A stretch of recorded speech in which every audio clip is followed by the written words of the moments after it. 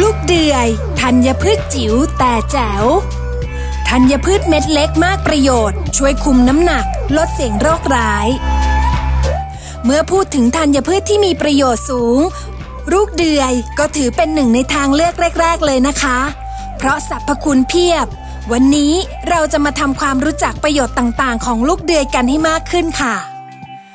ลูกเดือยมีคุณค่าทางโภชนาการที่หลากหลาย ไม่ว่าจะเป็นเส้นใยอาหาร โปรตีน คาร์โบไฮเดรตวิตามินเอ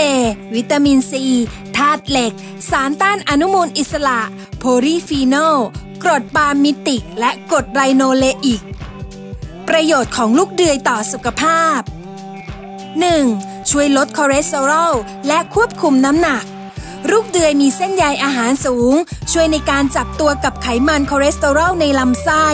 และลดการดูดซึมไขมัน จึงช่วยในการลดระดับของคอเลสเตอรอลลงได้ค่ะ 2. ช่วยลดความดันโลหิต จากการศึกษาพบว่า ลูกเดือยมีสาร oligopeptide ที่ยับยั้ง angiotensin converting enzyme ซึ่งเป็นตัวยับยั้งการเพิ่มขึ้นของความดันโลหิตค่ะ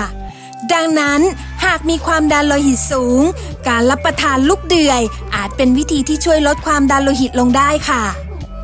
3. ช่วยให้ระบบขับถ่ายดีขึ้น ด้วยปริมาณใยอาหารที่สูงมาก จึงมีส่วนช่วยลดอาการท้องผูกได้เป็นอย่างดีสำหรับใครที่ต้องการทำให้ระบบขับถ่ายคล่องตัวมากขึ้น การรับประทานลูกเดือยก็ตอบโจทย์ได้ดีมากค่ะ 4. ประโยชน์ต่อการรักษาโรคมะเร็ง มีการศึกษาที่แสดงว่า สารประกอบต่างๆ ในลูกเดือย เช่น กรดปานมิติก และกรดไลโนเลอิก มีผลต่อการยับยั้งการเจริญเติบโตของเซลล์มะเร็งได้ ส่งผลให้มีโอกาสในการรักษาโรคมะเร็งที่ดีขึ้น 5. บำรุงสายตา ผิวพรรณกระดูกและฟัน จากสารอาหารและวิตามินต่างๆ ในลูกเดือย อีกทั้งยังช่วยกระตุ้นการทำงานของฮอร์โมนเมลาโทนินทำให้นอนหลับสบายขึ้น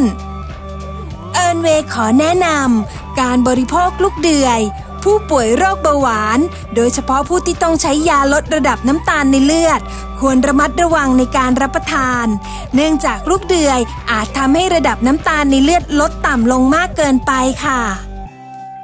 ติดตามเอิร์นเวย์การแพทย์จีนสมัยใหม่ และนวัตกรรมสมุนไพรจีนเอิร์นเวย์ช่วยให้คุณมีสุขภาพที่สมดุลแข็งแรงได้ทุกวันค่ะ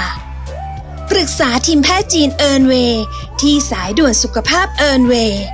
02 751 4399